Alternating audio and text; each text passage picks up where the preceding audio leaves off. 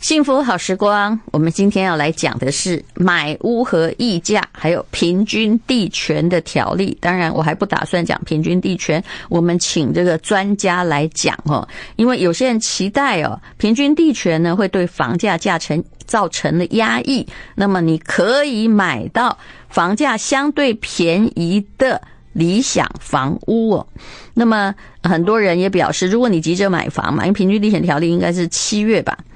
如果你在现在你需要刚需房的话，那你可以从蛋黄区或生活机能强的蛋白区挑房，这些东西还是会相对保值和抗跌。其实，在我看起来非常简单，就是你自住房跌不跌哈？就如果你自己住在那儿，你也别太关心。当然，你想买的便宜，现在也不是一个不好杀价。你怎么杀价呢？哈，最近我的朋友运用这一点都成功，就是。利息越来越高了，买房子越来越困难了，平均地权条例要出来了，人口又在老化了，你怎么这个价格你还坚持不卖呢？So 啊，这就是目前呢你很好杀价的地方。可是你挑东西啊，也要挑可以抗跌。什么东西可以抗跌呢？呃，大概以我对房地产观察很简单，只要那个东西有，不管那房有多烂啊，只要你买在相对的，就是。你觉得买的便宜啊？然后呢？啊，就如果你创造实价登录最高价，那我就没办法了啊！现在在追价就有点傻，呃，那么你要去买它的重要一点是，你住在这个地方啊，有就业机会啊！不要说有一个地方离。真正的就业区要花一个半小时时间，我真不知道你买那干嘛？因为需求的人就少了，每个人都是想钱多事少、离家近的，不是吗？离家近这一点还是挺重要。那我们有时候会用，啊，就是用时间呢来换取比较大的空间，但是拜托哈，你也不要用太多的时间来换太大的空间，因为多出来的东西是没有用的。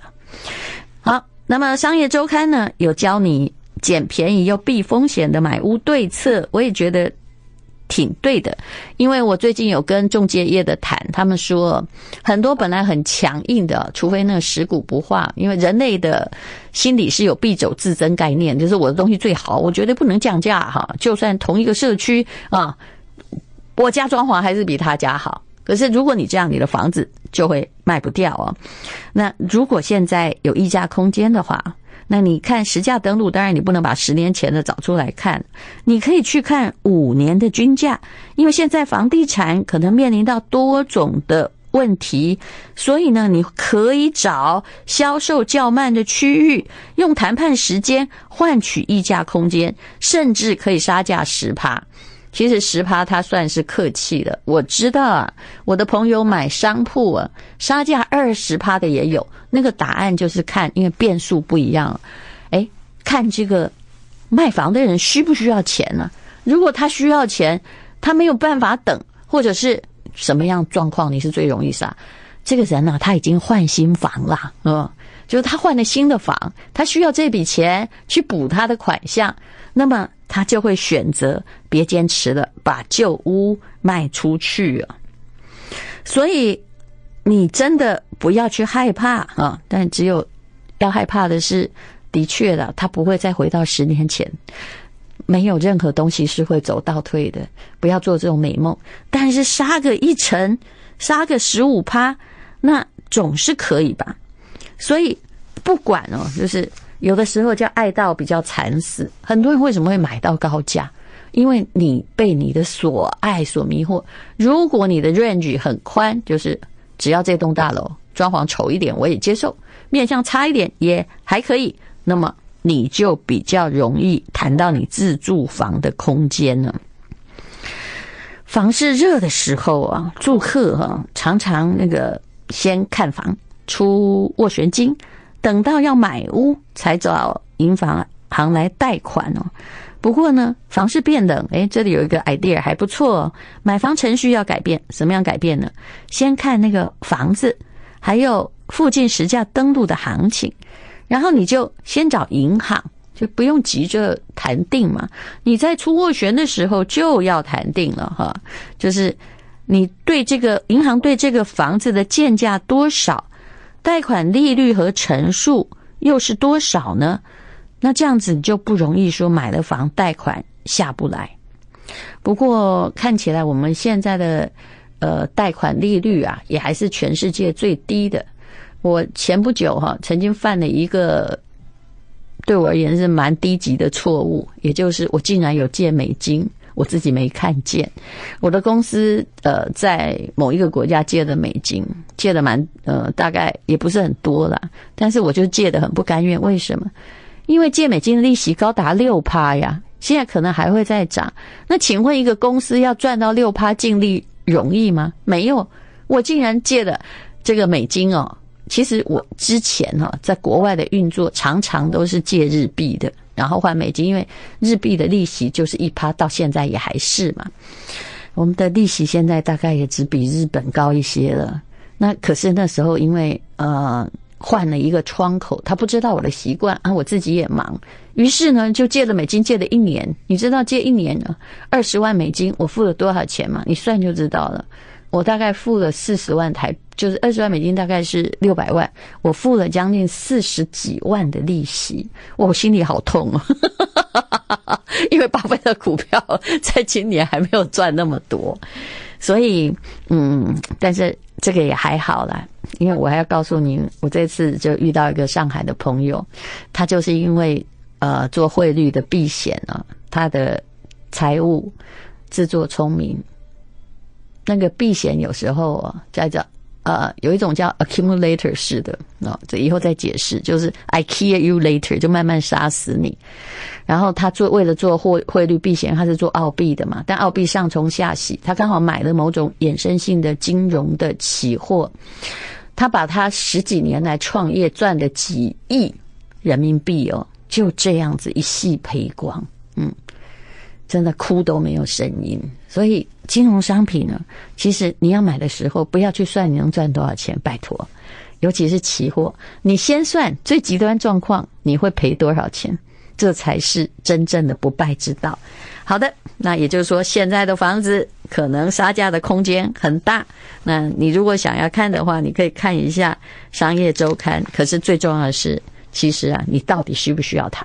啊，你如果自己要住啊，那你又是一个很挑剔的人，你大概也就杀不下来，因为你的范围就被定在那里了。好，我们等一下就进行今天的节目。买房真是一个很大的台湾人关心的课题啊！欢迎收听《幸福好时光》。我们今天请到了北海道大使温世凯。不过我们现在要讲的是济州岛哦。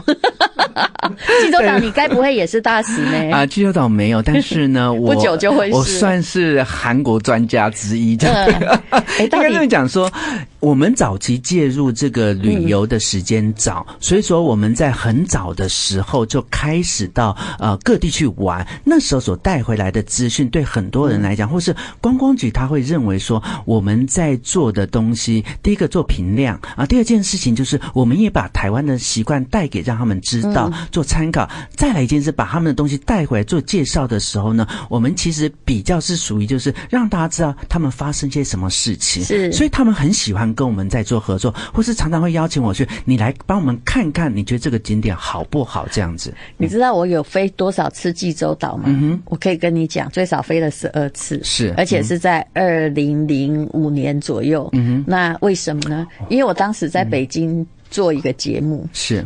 结果呢，就台湾到北京当时没有直飞，停哪个点呢是最快的？答案就是济州岛，所以我从来没有下去过。真的假的？真的，因为就是去工作就赶快回来嘛。好，结果呢，我后来发现了，其实韩国很好玩，因为我对日本很熟悉，因为公司在那。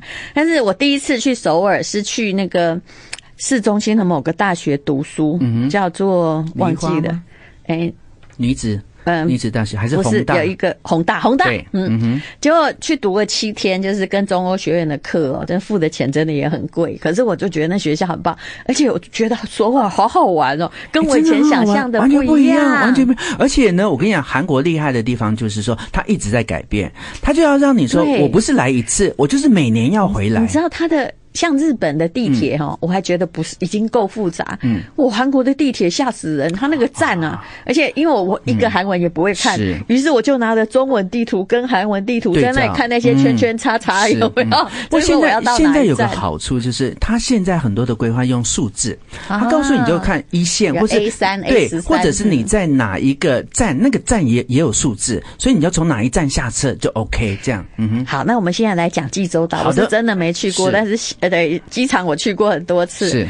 最近的两个剧有没有像《非常律师》啊，还有什么《蓝调时光》？对，我跟你讲，这超棒的哈！我跟你讲，因为呢，呃，我会建议大家现在去济州岛的一个原因点，是因为呃，班机现在多，而且呢，是我们自己有吗？台湾台湾虎航现在开开航了，开航的就是我们台湾自己的这个这个虎航，然后呢，直飞就。八十几分钟你就到了，哦，所以你看，第一个，他我要去干嘛？而且哦，也是看追剧嘛。我们先讲，如果你喜欢剧的人，对对哈，他有几个景点，那几个景点你就一定要去。啊，第二件事情就是说，如果你不是喜欢剧的人，他单是这种他本身的一个人气景点都非常值得，因为那些都叫做网红景点，嗯，随便拍都随便好，而且你每一个地方去的，你只要给年轻人一看，他都可以告诉。诉你这个点在哪里？为什么呢？很多的韩国综艺节目都会去那边取景。那这个时候呢，年轻的世代，例如说二十岁到四十岁之间的这个世代，他们对这些东西都很熟悉。再来一点啊，我跟你讲，我这次去的啊，他们疫情期间，他们他们不是停滞哦，他们也在建设。他们跟日本的史努比合作，他们做了一个叫史努比 Garden。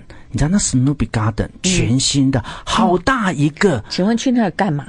看超好玩，不是？我跟你躺在屋顶上吗，这是他有趣的地方在，我就很讶异他的规划。他有分室内馆跟室外，他的室啊非常大，你一定要我跟你玩一个下午，你玩不完？为什么呢？嗯，他让你第一件事，你一进去的时候，他把所有的史努比放成等身大，也就是说，我们人好像。走进去的四格漫画的概念，以前看到的史努比都小小一个，因为它是漫画嘛。可是当它变成你的等身大的时候，你是不是觉得说，哎呦，我好像就在里面？然后它里面会有很多的桥段，都是漫画桥段的时候，你就变成里面的主人翁一样。第二件事情，它的拍照很好拍，因为它就会诱导你去，你就觉得你跟它有互动。然后它还有三 D 的，就是那些影片让你去看。除此之外，它的户外非常的大，它那个户外大到就是。是说，像现在我们韩国这个呃呃，我们济州知名的几个景点，他小缩影，他也把它弄进来。甚至我们史努比里面跟他的朋友们会去打棒球，他就弄了一个棒球场，然后史努比在那边跟他的朋友那边打棒球。那你也可以去跟他借位拍照。还有，我们到了冬天以后，秋冬的时候，济州岛最有名的这个叫做芒花，因为他们喜欢那种萧瑟的那种感觉，他也弄了一块的芒花地在那边，所以你直接去那边也可以拍芒花，所以他可以随时满。满足各式各样的人，你知道吗？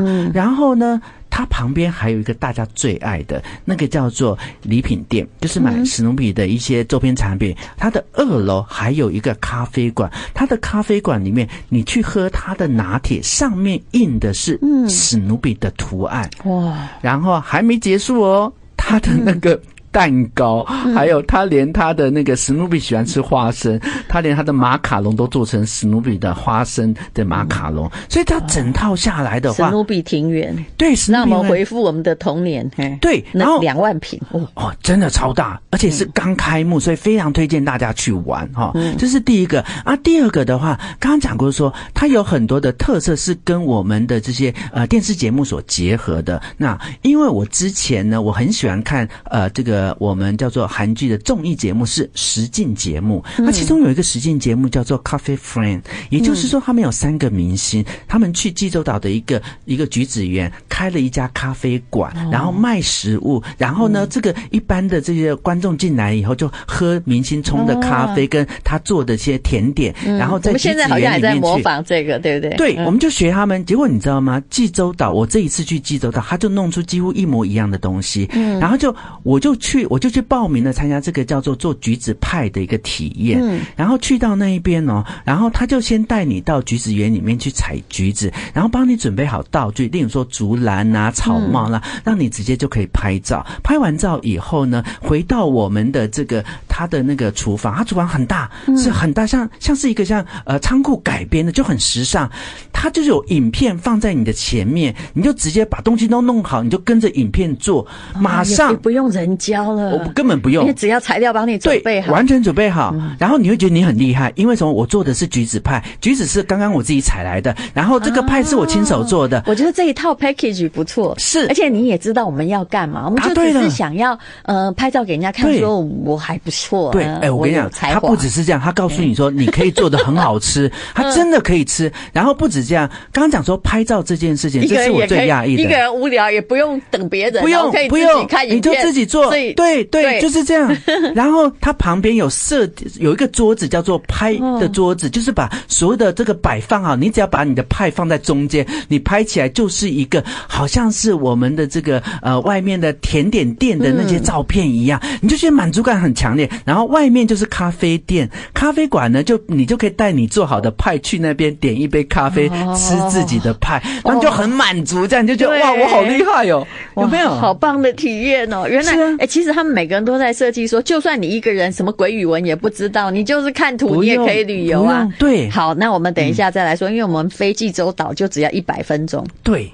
好，刚刚温世凯介绍了济州岛的那个史努比的庭园，嗯，还有那个橘子的课程，对不对？DIY 做橘子派的课程，嗯，所以现在其实韩国人在推济州岛，很明显呐，啊，比如非常律师啊、蓝调时光啊，都好济州。哎，可是你看见它有两个不同的主轴哦，嗯，非常律师他强调的是什么？他强调的是济州岛是韩国人最爱的度假胜地，是因为它是一个岛，而且它有好吃的那个什么。面呢？哈，你看我对那个面印象很深刻，因为那个是主轴。而且济州岛还有一个，呃，应该说还有两个东西，一个叫做黑毛猪肉，嗯，好吃。它的那个烤肉真的，因为黑毛猪的厉害的地方是它没有那个猪腥味。然后再来一点，它的海鲜，你每天吃的海鲜，我都用海鲜山来形容它。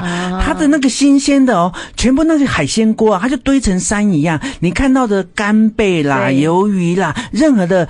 鲍鱼，我跟你讲还会动，因为它是活生生的。你看蓝调时光那个女生呢，有没有女老板？她就是因为做海产批发致富的啊。对，你看她卖什么？她卖白带鱼，对不对？我这次就去了一家店，白带鱼实在不是好吃的。可是我跟你讲，戴小姐，你一定要去吃。真吗？跟我们这改变完全不一样。为什么？你知道吗？我去了济州岛才发现，对他们来讲。鲍鱼叫做平民口味，每天吃吃到腻，吃到你厌世，好烦。对，你要吃酱鲍鱼，你要吃烤鲍鱼，你要吃那个新鲜的鲍鱼沙西米都 OK。但是白带鱼对他们来讲是高级食品，而且它的白带鱼跟我们不一样。我们以往吃白带鱼都是剪成一块一块块状的嘛，要么是煎，要么是煮汤给你吃。它不是，它一整条。他告诉你，我整条。恶心哎！啊，有些人会怕，可是他就是要强调是说，他来的时候他是一整条，而且他特别强调一件事：我的鱼是一根一根挂钩钓上来的，所以他把鱼钩放在你的嘴巴前面，你还可以看得到。这太原始了。对，可是呢，厉害的就来了。他烤好了以后，他那连盘子都是特别做的长盘，整条上来，他旁边就铺满了很多他们的小菜呀。对对，搞得像只鳗鱼一样。对，所以你整个从上面往下拍照的时候，就觉得哇，好丰富，好漂亮。而且呢，他们厉害的是，他有桌边服务。然后那个老板来了以后，对对，问你说拍完照了没？拍完照以后，他就开始呢，就把你的肉上面一层的肉，先把你给弄好，剥开，然后放在你的盘子里面去，再把它的那中间的一条骨头，哦，很有技巧。整个挑开以后，下面的一层肉还是完好无缺的放在下面。给你这样讲，我都觉得我好像在吃石斑鱼。真的，我跟你讲，你一定要去吃，而且吃的口感不同。而且他们那边是温带气候，对，所以比较冷的话，哈，就是因为白带鱼它通常就是在那种浅滩混嘛，对不对？所以那个质感就是一般可能会有点土味，嗯，结果它完全没有。然后刚刚讲过说，他给你吃的是烤的，然后呢，还有呢煮的是泡菜汤的，嗯，还有一件事，他给你吃白带鱼沙西米生鱼一片。天哪！通常在温带白带鱼是呃热带台。白带鱼不能吃沙西米。嗯，一般来讲是这样。你知道他们怎么做吗？急速冷冻啊，这一点很重要。答对了，因为很多人不知道，如果如果你要吃沙西米，你一定要吃急速冷冻过的，不然会很惨。答对了，这就是。呃，本人在家不随便吃沙西米的原因我也是。如果那个地方很热的话，我是不吃 沙西米。是答对了，而且要有文化。你没有文化的人，他不懂这一块。对，因为他的渔船吃了很多干吸虫。对，他的渔船一上来，必须要有那个器具，那个冷冻器具，所以他马上进冷冻就进去了。直接对，这是最快。而且鱼肉一定要冷冻完了以后，当它回温了以后，那个鱼肉的弹性才会出现。对呀，所以这个是很多人不知道的一件事。所以你来到这边，我跟你讲，你吃到哇，那个白带鱼那不得了。我刚刚讲说那个那个叫做什么海鲜锅啊，那个真是海鲜山来的哈。是。然后四个人他就一整锅给你吃到你想吐，吃完了哈还没结束哦。你要吃拉面，你要吃泡面，最后甚至你要把它汤来煮粥都 OK。所以一。锅多吃啊，你知道吗？然后我们都，而且他都很清楚知道说你们都要先拍照，他欢迎你拍。为什么？他知道你就会上传，就会打卡，就帮他们做宣传。现在就是网红经济嘛，所以我就觉得，我觉得韩国这一块他做的很厉害。你看，我们刚刚讲说，第一个新的景点，第二个在吃吃的这些东西都带到跟刚刚的非常律师，还有跟那个蓝带时光那个是结合在一起。他强调的这个叫做什么在地风情，而且他们还都会分分配耶，对不对？蓝调时。光是搞海鲜的，对，然后非常律师是搞这个，有一点像那个 CT Tour 或知名拉面店，因为这个是城市人来到这边的故事，那跟那个我们的那个蓝调时光，它是在地人的人情故事是不一样的。我对那棵树很感兴趣，它真的。那个是知名景点吗？非常律师有一棵大树。我只能说有很多树很漂亮，但是没有特别那棵树。没有特别那棵树，但那棵树是因为剧的关系，你会被带入，你情绪会被带入。我是在想说，我要不要去看那棵树？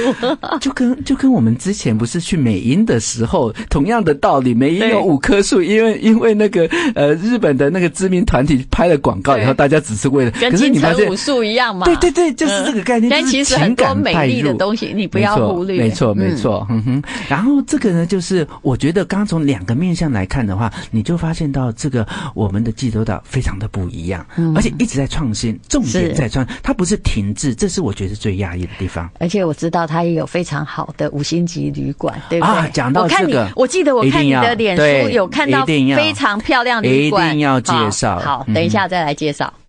好，听温世凯介绍旅行是一种享受，你都会觉得好想去哦，因为他的声音会点燃你的热情哈。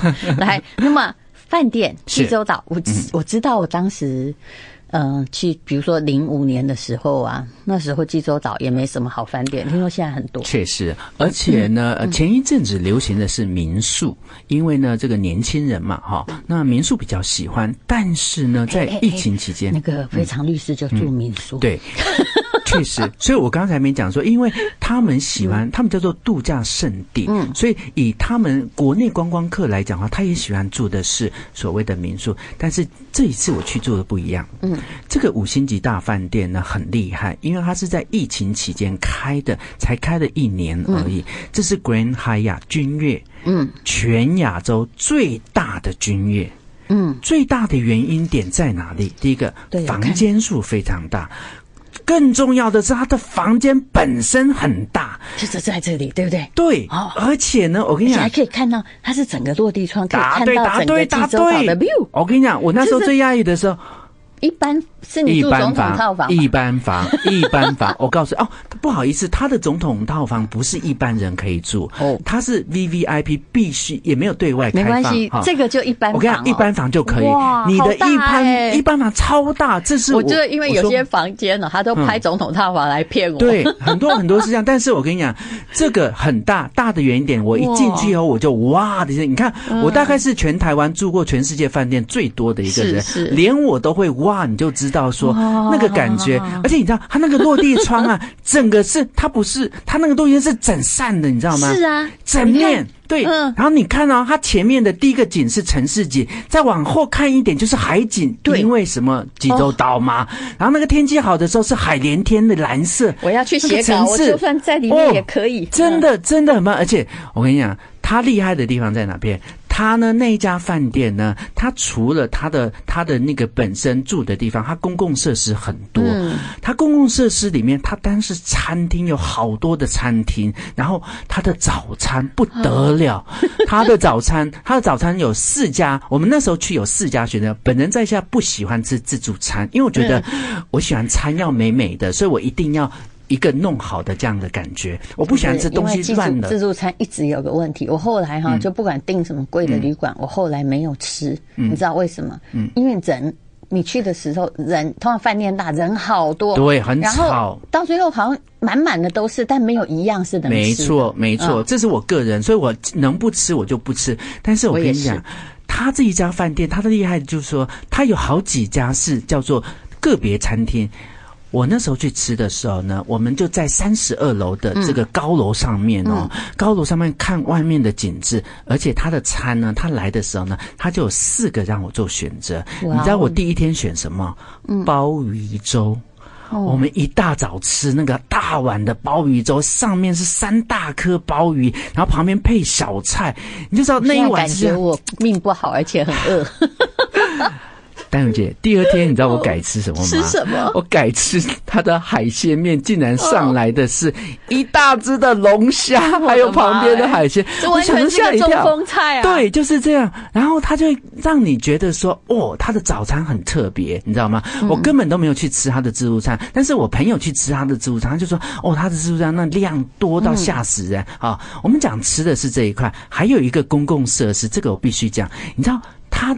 三楼、四楼，它有什么？它有自己的商场。嗯。自己的商场不打紧，他的商场他把它弄得很完美风，很多东西他他连出去都对，也不用出去了，不用不用。然后他当弄他弄了一个 dream，就叫你做梦的意思，然后就是一个梦想。那个 dream 就很大，像好莱坞的字那么大一个，你就可以在那边拍照。然后呢，它里面卖的东西不会比外面贵，嗯，因为呢，它的隔壁是是伊玛，然后对面是那个乐乐乐天超市，所以说它的地点好。所以他要跟他们竞争的话，你知道吗？他竞争不过去，他干脆就是价格没有差别很大。是，重点来了，嗯，它里面竟然有一个 Seven Eleven，嗯，哎，饭店里面竟然有 Seven Eleven，也就是说你不用跑到外面去买，就像你只只想吃个泡面哈，答对，做晚餐你也有。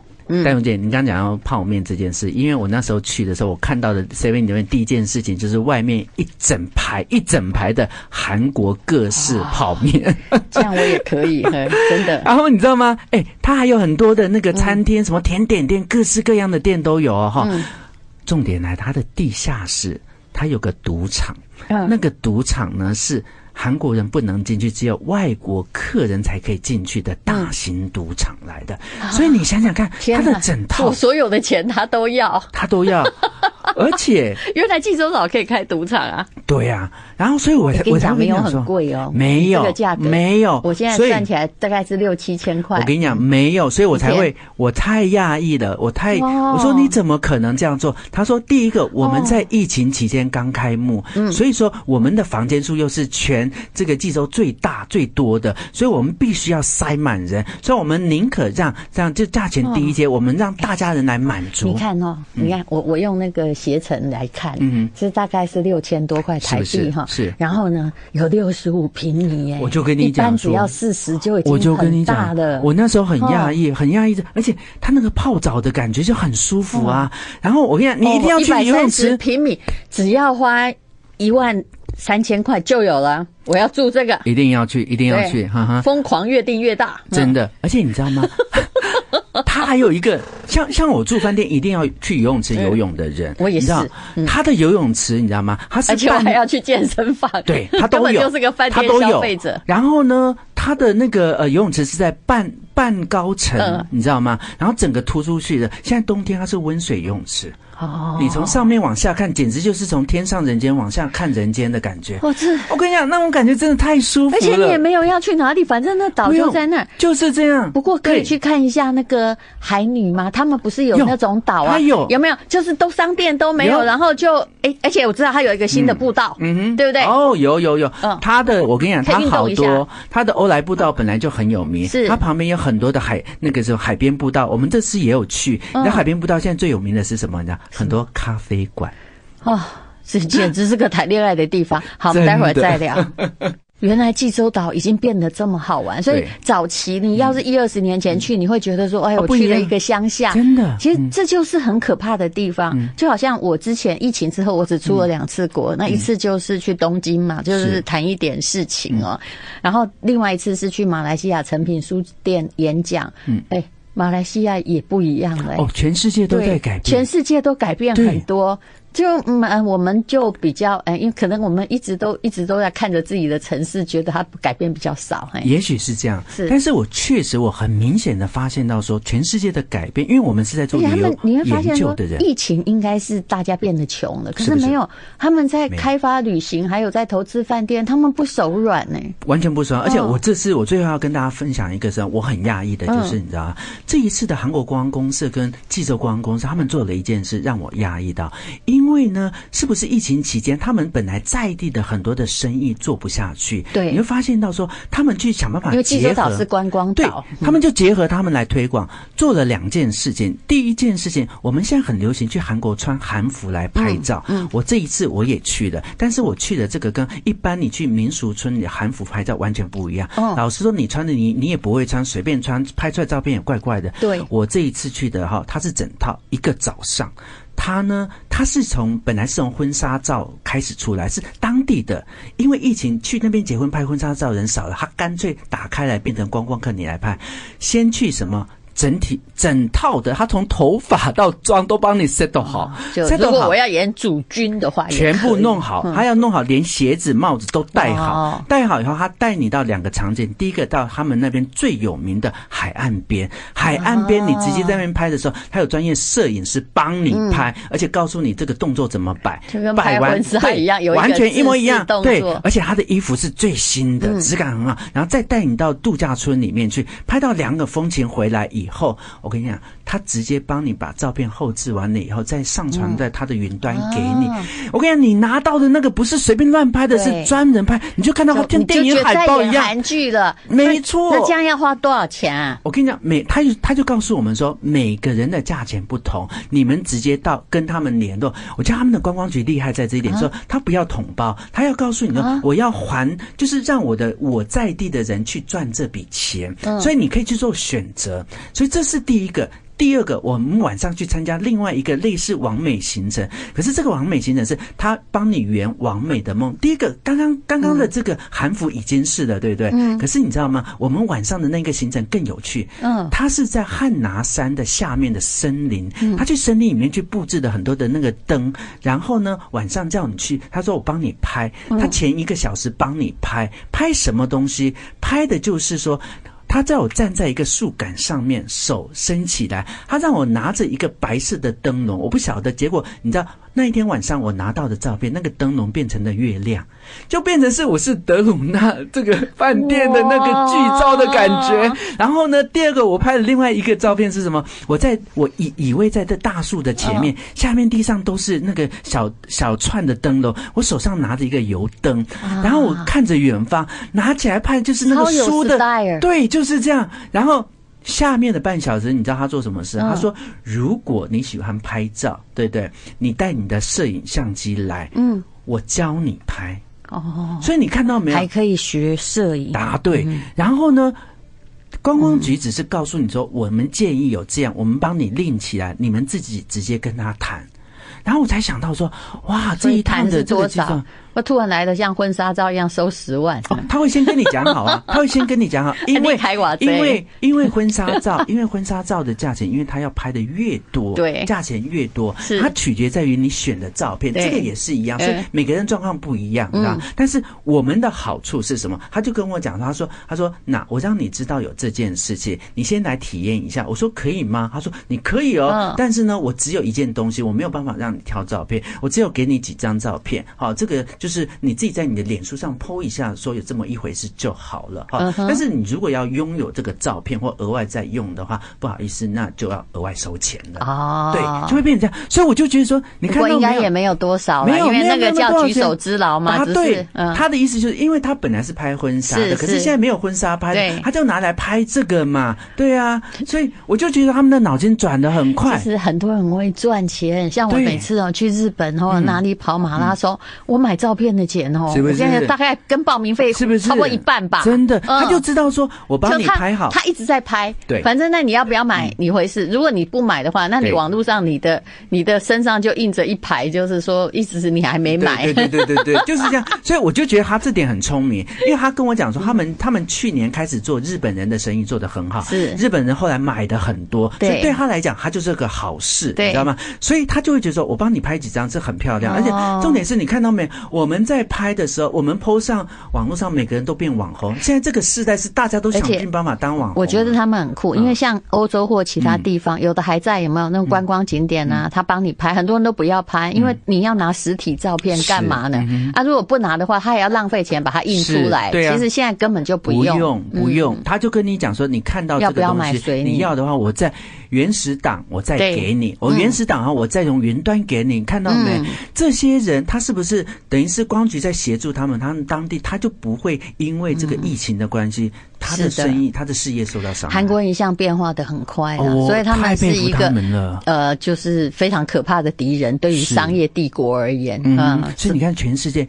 哦，不得了！现在观光客最多，以前是日本人，再来是大陆人，现在全世界最多观光客的是韩国人，去到哪里都是韩国人。因为而且现在你我刚刚查了一下，如果你去济州岛的话，你的机票哈，现在如果去。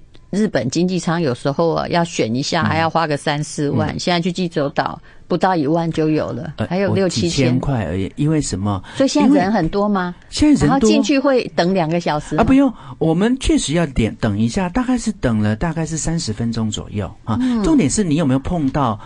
其他航班如果只有你那一班就很快速，但是如果有其他航班就要。但是同样的，韩国也是一样。有没有觉得这就等于台北去高雄旅行就这样完全就是啊，而且完全就是啊，跟高铁的票差不多，差不多。饭店好大没错，就是这样。所以我才会说为什么不去。而且这种，但是要提醒大家一件事。现在的韩国这个呃，我们的免签也没有免，不是免没有免签这件事，真的吗？因为他们要做，他们要做一个入境许可，所以你还是要在网络上面去申请一个，大概花个几百块的一个申请一个呃入境许可的那个 Q code。哦，这也是因为疫情，对不对？都是因为疫情的关系，会慢慢在改变。可是至少现阶段一定要做这件事，一定要提醒大家。好，那如果有空的话，再请你来讲。你也是刚刚回来的什么越南岘港啊，对不对？现因为越南我也有公司啊，但是也很久没去。但是岘港是更久没去。还有哪里又回来的？是哪里？泰国啊，还有泰国，对，泰国也变很多。对啊。好，谢谢温世凯，谢谢。